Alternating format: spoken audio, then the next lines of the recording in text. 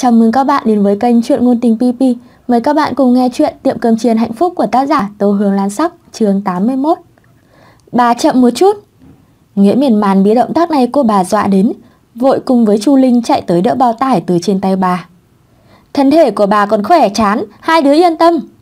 Bà Lâm cười nói, gần đây dựa vào công việc lột đậu phộng, trong tay bà rốt cuộc tích góp được mấy trăm đồng. Đối với nhà người khác có lẽ không tính là gì, nhưng trong lòng bà thật sự rất cao hứng. Gần đây cũng cười nhiều hơn. Cùng Chu Linh đem bao khổ qua đặt ở cửa sau. Nghĩa miền màn định gửi tiền, bà Lâm đã kéo xe ba bánh của mình rời đi. Một bao lớn khổ qua như vậy, nhìn thôi miệng đã thấy đắng. Chu Linh mở bao nhìn vào bên trong, nhịn không được cảm thán. Nghe lời này, hiển nhiên chị không thể nào thích ăn khổ qua. Thế nhưng, vị đắng này cũng rất ít người thích ăn. Khổ qua này thoạt nhìn cũng không tồi. Nghĩa miền man tùy tiện cầm lấy một chai đánh giá, nghĩ bà Lâm nếu không thu tiền, vậy nấu xong đưa qua nhiều một chút, để bà có thêm món ăn mặn. Chu Linh hơi buồn rầu nhìn một bao to đùng. Người thích ăn khổ qua phòng trứng rất ít, em định làm như thế nào? Làm khổ qua nhiều thịt ạ. Nộm dừa chuột, gạo nếp sắt tràng heo, thịt ốc đồng đều đã làm tốt. Nghĩa miền màn quyết định xong, dứt khoát cầm khổ qua vào trong phòng bếp. Chu Linh đi theo cô vào, lấy khổ qua ra, phát hiện một ít khổ qua đã bắt đầu héo, không khỏi nói. Làm hết tất cả sao? Một bao này cũng không ít, xếp ở góc tường thành một núi nhỏ.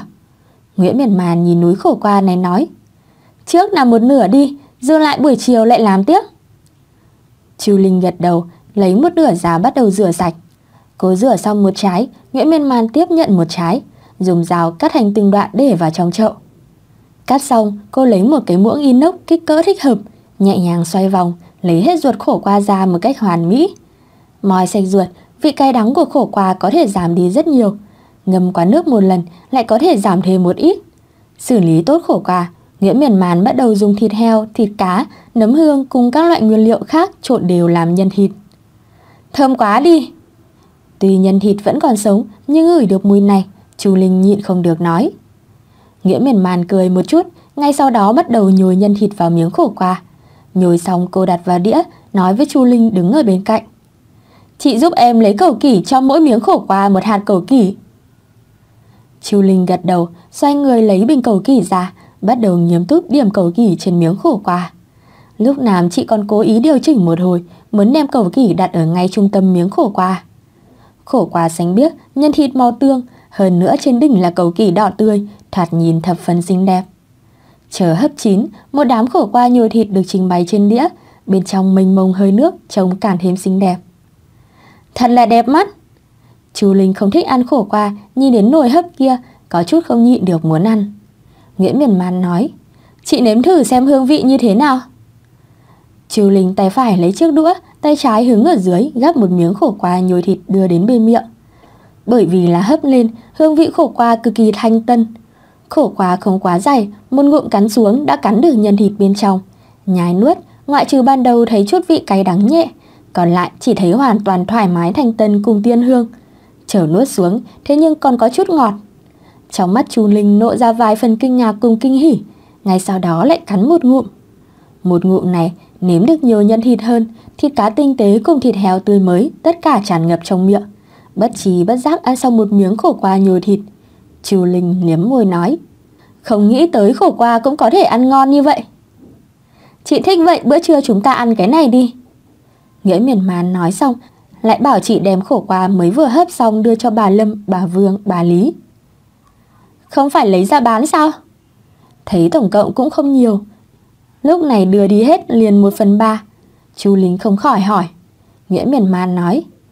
Em lo lắng bọn họ ăn xong lại mỗi ngày kêu em làm. Chờ khi nào bọn họ ngán gạo nếp rót chàng heo, em lại suy xét đổi được đơn thành cái này. Hiện tại buôn bán đã khá bận, cô tạm thời không định tìm thêm việc cho mình. Chiều Linh ngẫm lại cảm thấy cũng đúng. Khổ quá nhồi thịt ăn ngon như vậy, chỉ cần vừa lên thực đơn, khách hàng khẳng định mỗi ngày đều la khóc kêu cô chủ làm nhiều một chút. Cũng đúng. Chú Linh gật đầu, bắt đầu đi ra cửa đưa khổ quà nhồi thịt. Đầu tiên chính là đưa cho bà Lâm, số lượng còn không ít. Bà Lâm đang ngồi ở trong sân luộc đậu phộng, nghe được giọng nói của Chu Linh liền ngẩng đầu, ánh mắt đầu tiên nhìn thấy cái đĩa trong tay cô. Cô chủ làm khổ qua nhồi thịt, bảo cháu đưa một chút lại đây cho bà nếm thử. Chu Linh đem đĩa cho bà nói. Đây là dùng khổ qua làm. Thật là xinh đẹp, người cũng thật thơm, đông đông cũng thật biết làm. Bà Lâm thật ra không định cự tuyệt, duỗi tay nhận lấy cùng một đống lời khen. Chu Linh còn phải đưa cho nhà khác, chờ bà cầm lấy cái đĩa liền rời đi. Mà sau khi cô đi, bà Lâm vẫn cao hứng nhìn đĩa đồ ăn trên bàn, cảm thấy chờ cháu trai, cháu gái trở về, nhìn thấy khẳng định sẽ vui vẻ. Quả nhiên như bà dự đoán, chờ đến giờ cơm trưa khi ăn đến khổ qua nhồi thịt. Đừng nói thằng nhóc con kia, chính là Lâm Minh Minh trưởng thành sớm, đều vui vẻ cười rộ lên. Bà, món này tên gọi là gì? Sao lại ăn ngon như vậy? Hình như gọi là khổ qua nhồi thịt, là chị Đông Đông của hai đứa lấy khổ qua bà tặng để làm. Có thể không ngon sao? Thì ra là chị Đông Đông làm, chắc không được ăn ngon như vậy. Lâm Minh Minh nói chuyện, đồng thời suy nghĩ. Đã nói bà mình chỉ biết sao khổ qua, như thế nào đột nhiên nấu ngon như vậy. Bà Lâm nhìn cháu trai, cháu gái cắn hết một khối khổ qua, ăn đến ngon lành, một chút cũng không giống như lúc bà làm khổ qua, mãi mới gắp một đũa, không khỏi nói. Chờ ngày mai bà cũng mua chút thịt, nhét trong khổ qua làm khổ qua nhồi thịt cho hai đứa. Ở trong mắt người già, khổ qua là thứ tốt, đặc biệt là sắp vào hè, ăn nhiều một chút tốt cho thân thể. À, bà giỏi quá! Lâm Thông Thông nghe được bà nói ngày mai còn làm cái này ăn, cao hứng khen lên. Lâm Minh Minh tuy rằng biết bà khẳng định không làm được mùi vị như hiện tại đang ăn, nhưng dù sao khổ qua nhồi thịt so với xào chay vẫn ngon hơn, bởi vậy cũng cực kỳ cổ động. Bà Lâm thấy vậy, tâm tình thực tốt, cảm thấy khổ qua dư lại trong nhà hẳn là rất nhanh có thể ăn hết. Mà lúc này, Chu Linh còn đưa khổ qua nhồi thịt cho mấy nhà khác. Nguyễn Miền Màn ở trong phòng bếp làm nốt khổ qua nhồi thịt. Có người không? Chủ tiệm có ở đây chứ? Lúc Nguyễn Miền Màn làm xong một miếng khổ qua cuối cùng, bên ngoài đột nhiên truyền đến một giọng nữ trẻ tuổi. Cô rửa qua bồn bên cạnh rửa tay, cầm khăn mặt lau tay đi ra ngoài. Xin hỏi cô có chuyện gì sao? Đi qua lối nhỏ, đi ra khỏi phòng bếp vào trong tiệm. Nghĩa miền màn hỏi cô gái đứng giờ di động ở ngoài cửa. Xin chào, tôi là một người chủ trì mỹ thực, gọi là Dâu Tây. Xin hỏi chủ tiệm có ở đây không? Dâu Tây tự giới thiệu xong, thấy cô nhìn về phía di động của mình, vội vàng bổ sung. Cô yên tâm, camera là hướng về tôi, chưa có sự cho phép, tôi sẽ không tùy tiện chụp loạn. Tôi chính là chủ tiệm. Nghĩa miền màn nói. Cô, cô chính là chủ tiệm. Nghe vậy, dâu tây mở to hai mắt nhìn cô, hiển nhiên khó mà tin được người trước mặt thoạt nhìn còn nhỏ tuổi hơn mình chính là chủ tiệm. Bất quá ngày sau đó cô phản ứng lại, lại nghĩ đến chủ tiệm chưa chắc là đầu bếp, vì thế lại bình tĩnh xuống, nói ý đồ đến. Gần đây có rất nhiều cư dân mạng đều cảm thấy hứng thú với món ăn của cô, tôi muốn tới làm phát sóng trực tiếp, không biết có thể chứ? Phát sóng trực tiếp là làm gì? Nghĩa miền màn hiếu kỳ hỏi. Dầu Tây thấy cô không có cự tuyệt, vội nói. Cũng không làm gì cả, chính là phát sóng trực tiếp tôi ở trong tiệm ăn cơm cho khán giả xem. Nói xong, cô nhìn thời gian còn chưa đến 10 giờ, vì thế bổ sung nói. Nếu hiện tại không tiện, tôi có thể chờ tới thời gian buôn bán quay lại. Nghe cô nói chỉ là phát sóng trực tiếp ở trong tiệm ăn cơm mà thôi, Nghĩa miền màn nói. Không sao đâu, cô vào đi. Cảm ơn chủ tiệm. Dâu Tây thấy cô dễ nói chuyện như vậy, dỗi tay hướng cô cảm ơn. Cô muốn ăn gì? Chờ cô vào tiệm, Nguyễn Miền Man hỏi. Dấu Tây đang muốn trả lời, bỗng nhiên ngửi được một mùi thơm thoải mái thanh tân, không khỏi nhìn về hướng mùi hương truyền đến nói. Trong phòng bếp đang làm gì vậy? Thơm quá đi. Là đang hấp khổ qua nhồi thịt. Nguyễn Miền Man nói. Khổ qua nhồi thịt, là món mới trong tiệm sao? Tôi có thể gọi món này không? Dâu Tây không nghĩ tới sẽ gặp được đồ ăn mới trong tiệm, giọng điệu có chút kích động. Nghĩa miền màn lắc đầu nói, không phải món mới trong tiệm, là làm cho chính mình ăn thôi. À, dâu Tây nghe vậy, vẻ mặt thất vọng. Nghĩa miền màn nhìn đến biểu tình của cô, nghĩ khổ qua nhiều thịt còn làm không ít, bán cho cô một phần cũng không phải không được. Vì thế nói, cô muốn ăn sao, có thể đặt một phần. Cảm ơn cô chủ. Từ ánh mắt đầu tiên dâu Tây nhìn thấy chủ tiệm, đã cảm thấy cô gái này thật thuận mắt. Lúc này càng có hảo cảm với cô. Không cần khách khí.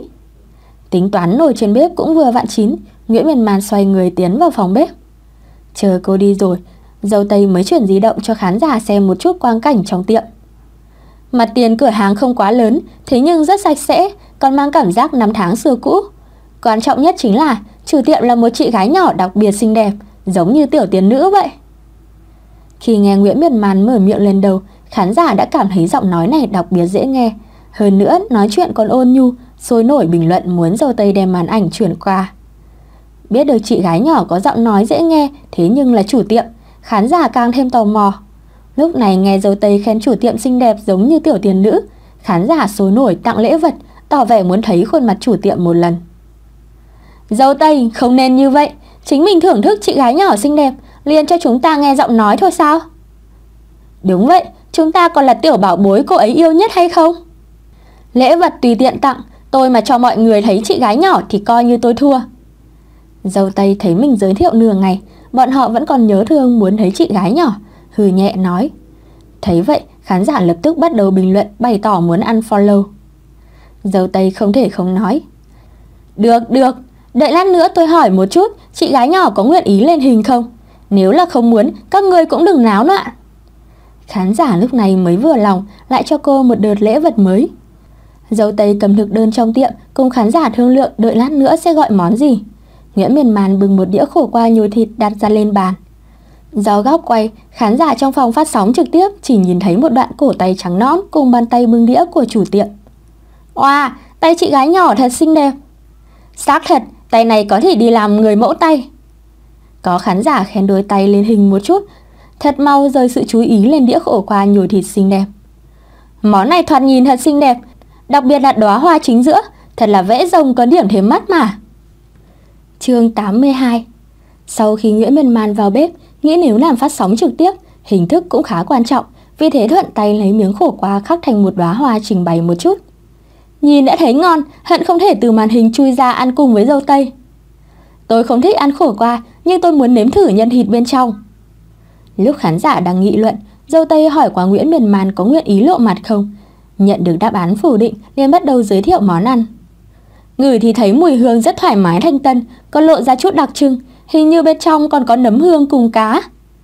Nghĩa Miền Màn hôm qua mới xem qua video phát sóng trực tiếp, đang có hai phần hứng thú, thấy có cơ hội xem hiện trường phát sóng trực tiếp, dứt khoát ngồi xuống bên cạnh.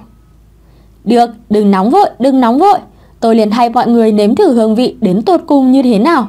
Nói thật, tôi đã sớm không chờ nổi, vừa rồi là cố nước nước miếng để giới thiệu cho mọi người. Nói xong, dâu tây cầm lấy chiếc đũa kẹp lên một miếng khổ qua nhồi thịt. Tuy rằng rất muốn lập tức đưa vào trong miệng cắn một miếng to, nhưng tốt xấu gì cô còn nhớ rõ hình tượng của mình, đem chiếc đũa tiến đến camera trước. Thật xinh đẹp đúng không? Khổ qua bên ngoài thủy nhuận giống như một khối ngọc bích, cùng với cầu kỷ bên trên, làm cho tôi có chút không đành lòng ăn xuống. Khán giả đang chuẩn bị bình luận tỏ vẻ thích đồ ăn chính là đồ ăn, không cần không đành lòng như vậy. Liền thấy từ cuối của cô còn chưa nói xong, đã thu hồi chiếc đũa cắn một miếng to. Tôi thật quá tin người rồi. Hẳn là không đành lòng, vậy cô nhẫn tâm một ngụm nuốt hết cả miếng đi. Ai, phụ nữ, đúng là khẩu thị tâm phi. Đã nếm đến tư vị của khổ qua nhồi thịt, dầu tây không nhịn được bình luận, hơi nhèo lại đôi mắt nhấm nháp mỹ vị trong miệng, thẳng đến khi nuốt xuống mới theo bản năng khen. Hàm tiên giòn nộn, hơi khổ tiền hương, ăn quá ngon. Nhìn đến bộ dáng của cô vì ăn ngon mà lâng lâng, khán giả trong phòng phát sóng trực tiếp không nhịn được nuốt nước miếng. Dâu tây nói xong tiếp tục ăn, ăn xong miếng trên tay liền lập tức gắp lên miếng khác, kế tiếp cũng chưa nói gì thêm.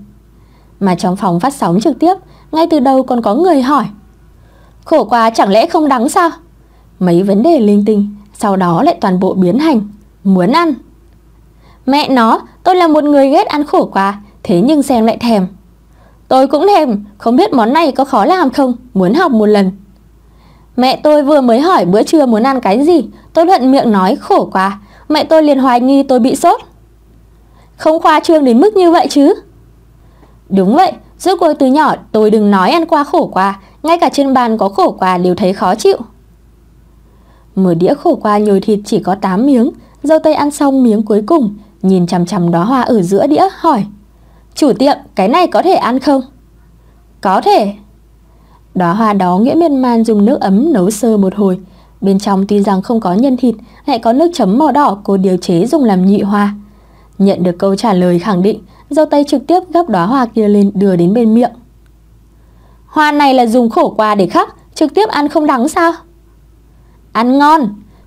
Dầu tây vốn dĩ cũng có chút lo lắng sẽ bị đắng, cho vào miệng lại phát hiện, không những không đắng còn có điểm ngọt. Nếm đến hương vị nước chấm làm nhụy hoa, cô một ngụm đem đóa hoa tiến hết vào trong miệng, nhắm mắt lại thỏa mãn. Nuốt xuống, cô còn có chút chưa đã thèm. Chờ nhìn đến màn hình có người tò mò đóa hoa trang trí có đắng hay không, vội nói. Không đắng, nhị hoa là tương ngọt, hương vị đều thấm vào khổ qua, ngược lại còn có điểm ngọt, vị sảng giòn, thật sự ăn rất ngon. Cô lại cùng khán giả chia sẻ một chút cảm nhận sau khi ăn, quay đầu nhìn về phía Nguyễn Miền Man. Chủ tiệm, tôi còn muốn một phần cơm chiên ốc đồng, gạo nếp rót tràng heo, nộm dưa chuột, đậu phộng rang, có thể chứ? Cô ăn hết được không? Đừng nhìn đĩa khổ qua vừa rồi chỉ có 8 miếng, nhưng bởi vì khổ qua có nhân thịt, phân lượng kỳ thật cũng không ít. Nguyễn Miền Man không khỏi có chút lo lắng. Cô yên tâm, tôi ăn uống rất tốt, bọn họ đều nói tôi có thể đổi hướng phát sóng trực tiếp là dạ dày vương. Dâu Tây nói xong, còn dùng tay che camera cho cô xem bình luận. Chị gái nhỏ đừng bị bề ngoài của dâu Tây lừa, trên thực tế cô ấy có thể ăn đó. Nể mặt người đẹp giọng nói hay. Nói cho cô một bí mật, dâu Tây kỳ thật là một dạ dày vương. Đúng, cô nhóc này lúc trước còn lừa dối chúng tôi, nói ăn không vô. Kết quả lần đó phát sóng trực tiếp ăn cơm hộp nhà cô liền bại lộ. Nguyễn Miền Màn nhìn đến mấy bình luận này, không khỏi nhìn lại cô gái trước mặt. Thấy cô không có bởi vì bị nói là dạ dày vương mà không vui Lúc này mới gật đầu nói Vậy cô chờ một lát Tôi hiện tại đi làm Chờ Nguyễn Miền Man đứng dậy Lần nữa tiến vào trong phòng bếp Dâu tây nhìn về hướng camera Không xác định nói Cô, cô ấy vừa rồi nói cái gì? Nói cô ấy hiện tại làm cho Má ơi, cô ấy không phải chủ tiệm thôi sao? Tôi xem trên mạng không phải nói đầu bếp tiệm cơm chiên hạnh phúc Là đầu bếp của khách sạn lớn về hưu sao? Có lẽ là đầu bếp không ở trong tiệm Cho nên chủ tiệm chỉ có thể tự làm. Khán giả còn đang suy đoán các kiểu Dâu tây trực tiếp hướng trong phòng bếp kêu lên. Chủ tiệm, đầu bếp trong tiệm cũng là cô sao? Vâng. Nhận được đáp án khẳng định Dâu tây nghĩ đến cơm hộp ăn lúc trước. Cùng khổ qua nhiều thịt mới ăn xong Khẽ nhếch miệng sửng sốt hướng camera nói.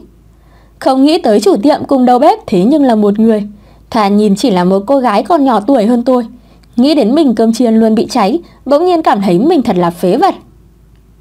Đừng nản chí, không phải chỉ một mình cô thấy vậy. Không phải chỉ một mình cô thấy vậy, cộng 1. Không phải chỉ một mình cô thấy vậy, cộng 2. Không phải chỉ một mình cô thấy vậy, gạch ngang, chứng nhận thân phận. Uy, mấy người đừng nhân cơ hội mắng tôi có được không? Dâu Tây kháng nghị một câu, Dư Quang bỗng nhiên nhìn đến một con mèo màu cam đặc biệt đáng yêu từ cửa tiến vào, không khỏi quay đầu. Oa, mèo đáng yêu quá. Cô nói xong còn không quên đưa điện thoại. Con không quên đưa điện thoại di động chuyển qua, cũng để khán giả nhìn thấy. Mèo con nhìn người xa lạ đang nói gì đó với mình, liếc mắt với cô một cái, trực tiếp nhảy đến đệm ghế bên cạnh. Mèo con xuất hiện, nháy mắt rời đi sự chú ý của khán giả. Bọn họ không dối dám chuyện đầu bếp của tiệm cơm chiên hạnh phúc, thế nhưng là một chị gái nhỏ xinh đẹp. Con mèo cam này có chút cao lãnh nha. Thật đáng yêu, mặt tròn như vậy, còn có ba tay trắng, thật muốn niết một phen. Dâu tây cùng khán giả xem mèo, bỗng nhiên ngửi được mùi hương từ phòng bếp truyền đến. Cô ngửi thấy quả quyết nhỏ khiếu giác so với cô nhạy bén hơn, tự nhiên cũng ngửi được. Dù đã biết mùi hương trong phòng bếp phần lớn thời gian đều không quan hệ cùng mình, nhưng mỗi lần ngửi được mùi hương, quả quyết nhỏ vẫn là nhịn không được chạy tới cửa phòng bếp. Khán giả vẫn luôn ngắm mèo, thấy nó bỗng nhiên từ trên ghế nhảy xuống, chớp mắt liền biến mất khỏi màn hình, không khỏi sôi nổi phát ra nghi vấn. Trong phòng bếp bay ra mùi thơm quá, phòng trưng là ngửi thấy chạy đi rồi. Dầu Tây giải thích một câu, khán giả sôi nổi thúc giục cô cũng đi qua xem. Để mèo vào phòng bếp không tốt lắm đâu. Một đống bình luận mèo ham ăn quả nhiên là mèo ham ăn. Dù thoạt nhìn cao lãnh cũng chống cự không được dụ hoặc mỹ thực. Một bình luận khác xuất hiện ở trong đó, thường mau khiến cho khán giả nghị luận. Nhà mình thì không sao cả, mở cửa hàng thì xác thật không tốt lắm. Đúng vậy, tuy rằng tôi thích mèo nhưng cũng cảm thấy không tốt. Tại đây, đồng thời dâu tây đã đứng dậy, nhìn đến con mèo kia cũng không có tiến vào phòng bếp, mà là ngoan ngoãn ngồi xổm ở lối đi nhỏ cách phòng bếp một chút. Cô hạ giọng giải thích. Mọi người xem, mèo con chưa đi vào phòng bếp, chỉ là ngồi xổm ở bên ngoài mà thôi, thoạt nhìn rất ngoan đi. Mùi hương trong phòng bếp càng ngày càng nồng, mèo con có chút đứng ngồi không được, một hồi xoay vòng tại chỗ, một hồi vươn móng vuốt ở giữa không trung cào cào, như là muốn đem hương thơm ngào ngạt cào vào trong miệng, à ô nuốt một ngụm.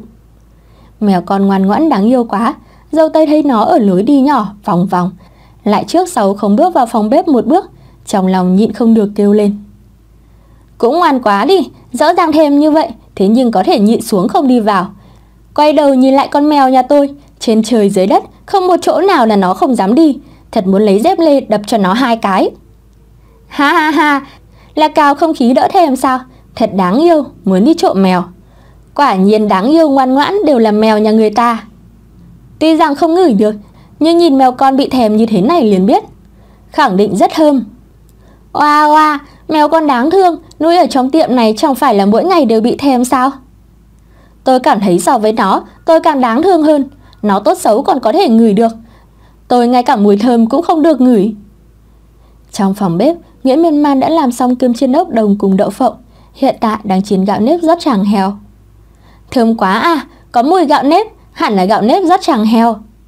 Dầu tây ngửi được mùi hương, nhịn không được đoán. Nguyễn Miền Màn nghe được giọng nói của cô không khỏi nói. Cơm chiên, đậu phộng cùng nộm dưa chuột đều làm xong, cô muốn ăn trước không? Nộm dưa chuột đã xử lý xong từ buổi sáng, hiện tại đã ngấm gia vị ăn ngon, chỉ cần lấy ra đĩa là được. Muốn muốn muốn. Đã sớm bị mùi hương thèm chết, dâu tây liên tục gật đầu, đem camera hướng xuống mặt đất rồi đi vào phòng bếp. Dưới sự chỉ dẫn của Nguyễn Miên Man, cô đem cơm chiên ốc đồng, đậu phộng rang, nộm dưa chuột bỏ vào khay. Chuẩn bị mang đi trước, dâu tây nghĩ đến mèo con ngoan ngoãn ở lối đi nhỏ, nhị không được thay nó xin ăn. Chủ tiệm, tôi thấy mèo nhà cô giống như đói bụng, có phải lấy thức ăn cho mèo hay không? Nghĩa miền man chỉ vào cái bình nhỏ bên cạnh tủ lạnh. Nếu cô không chơi phiền toái, có thể lấy giúp tôi chút cá khô cho nó không? Không thành vấn đề. Dâu tây đáp ứng, bưng cơm của mình cùng cá khô đi ra ngoài. Mèo con, lại đây ăn cá khô. Đem khay cùng di động đặt ở trên bàn, dâu tây cầm lấy bình cá khô lắc lắc hai cái. Mèo con liền xuất hiện ở trước mặt cô. Mèo! Nhìn đến bình trong tay cô, mới vừa rồi còn có điểm lạnh lùng. Thái độ mèo con hiện tại rõ ràng mềm mại không ít. Đổi thành ngày thường, đối mặt với mèo con đáng yêu như vậy, dâu tây khẳng định muốn chơi với nó một chút. Bất quá lúc này đang nhớ thương mỹ thực thơm ngào ngạt trên bàn, cô liền trực tiếp mở bình, lấy ra một con cá đưa cho nó. Cá khô này thoạt nhìn cũng khá ngon. Thấy mèo con nhận cá khô lập tức ăn ngon lành, dâu tây không khỏi nói. Lúc này, camera đối diện cô cùng mèo con, khán giả thấy cô một hồi xem mèo, một hồi xem cái bình trong tay, nhịn không được bình luận. Dâu tây, không phải chứ, hiện tại ngay đến đồ ăn vặt của mèo đều không muốn buông tha. Dám ăn vụng, cẩn thận con mèo kia cắn cô. Khán giả vốn dĩ chỉ là đùa một chút, trăm triệu không nghĩ tới, lúc cô đứng dậy, thật đúng là trộm một con cá cho vào trong miệng. Ba chấm. Không nói nhiều, tôi chỉ muốn biết, ăn ngon không? Đây thật sự là đồ ham ăn không thể nghi ngờ, thế nhưng đến đồ ăn cho mèo cũng không buông tha. Dâu tây ngồi xuống nhìn đến bình luận mới phát hiện mình ăn vụng bị khán giả thấy được, hò khan một tiếng, dứt khoát bất chấp tất cả. Ăn ngay nói thật, cá khô này thật sự ăn ngon, trừ bỏ có một chút tanh thôi, so với cá khô ăn vặt bán bên ngoài còn thơm hơn. Nói xong, cái tay lại vô thức thò vào trong bình. Cô tỉnh tỉnh, đó là cho mèo ăn, có chút tanh cũng không phải khuyết điểm. Dâu tây, tôi khuyên cô thận trọng. Cảm ơn các bạn đã lắng nghe. Hãy đăng ký kênh để ủng hộ mình và nghe thêm nhiều chuyện hơn nữa nhé. Xin chào và hẹn gặp lại.